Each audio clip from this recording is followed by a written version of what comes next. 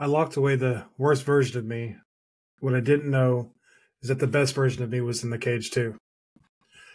My name is Coach Bruce, and I'm a life coach for ADHD parents. And I am personally on a journey right now to find all of me. 22 years ago, around, I made a decision to lock away the part of me that was filled with rage and anger and darkness and depression and sadness. I made this decision thinking it was going to be the best thing I could do to provide myself with a good life. I was a kid. I didn't understand how to handle this extreme emotion, this ex- this just guttural and visceral feeling that I had whenever I would get hurt emotionally, I would fly into a just the deepest of rages or depressions, sadness. And I thought hiding that, getting rid of it, disconnecting from it was the best thing I could possibly do to live a better life. And as a kid, I made that decision. I separated myself from that. I locked that person away and didn't look back. I would later go on to get on Adderall and further sedate, further disconnect from my ability to emote. And that decision that I made so many years before became an afterthought to the point it wasn't even a thought at all. And I continued on in my life hearing things like, you don't really get excited, do you? And is that really that's that's all you feel about that? And fighting with my wife, having just just the most intense arguments, at least on her side, with her screaming at me because she just wanted me to do do or say something, to feel something. She would push me to the very edge because she was tired of being married to an automaton. I mean, I could feel that that monster that I'd locked away is fucking strong. So whenever the cage got shaken enough, he would break out and he would show himself by punching holes in walls, breaking down doors, denting cars, breaking phones. And then after he made me feel stupid enough, he'd go back into his cage and I would say, well, that was weird because I would disconnect again from that emotion. I would learn nothing. It would happen and it would recede, nothing gained. Property damage lost, nobody hurt, thank God. But he was so powerful whenever he came out that I was terrified and I continued to hide from him. What I didn't realize until yesterday, I started to to step upon this revelation, but it didn't really come out until this morning as I was writing in my stack that whenever I locked the worst version of me away, I locked away the best version too. All these years I've been living without the darkness, but I've been living without the light. Whenever I cut off access to my deepest pain, I cut off access to the deepest pleasure. I've wasted 20 years not feeling everything. I've gone through the births of children, weddings, deaths without feeling the full range of human emotion. And it's fucking heartbreaking. It's something that I'm dealing with and I'm going to continue dealing with. And I want to be a whole person. So I've gone off my medication. Today's day one. So no, uh, you know, effect yet. I've got you know things in place to make sure I don't go off the rails. I've got a plan, which I've never had, and I've got confidence that I can do it, which I've never had.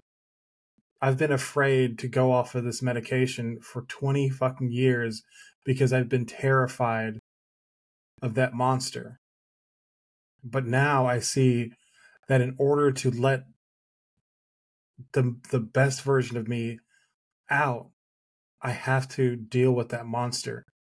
I can't just lock him away anymore. I have to learn how to process those deep emotions, how to have those angry feelings and process them in a healthy way. And that's, you know, it's it's a big challenge. I want to say it's scary. I don't know. I'm still I'm still realizing I'm still reeling from the fact that for the last 20 years I've just been describing the idea of emotions. I've been the LaCroix of feelings. Just a whisper of anger, just a hint. And I don't know. I don't know how I'm going to process when the fog lifts I'm able to really access what it's like to feel again. I know it's coming. I'm prepared for it. I have systems in place, but I'm still I'm still apprehensive. I feel like apprehensive is something that I can be. Doesn't really involve a whole lot of feeling. It's more of a mental process. Got those mental processes down, but I want to feel. And I know that there are other people out there who want to feel as well, and they have found a way to throw their monster in the cage and ignore it so they can live a comfortable life, a life without conflict, without disaster, without excitement, without purpose. You can't have one without dealing with the other. And so I encourage you, if you have been living that zombie life, just throw a, throw a me too in the comment. Like engage with me in the comment section and let me know that I'm not alone in this.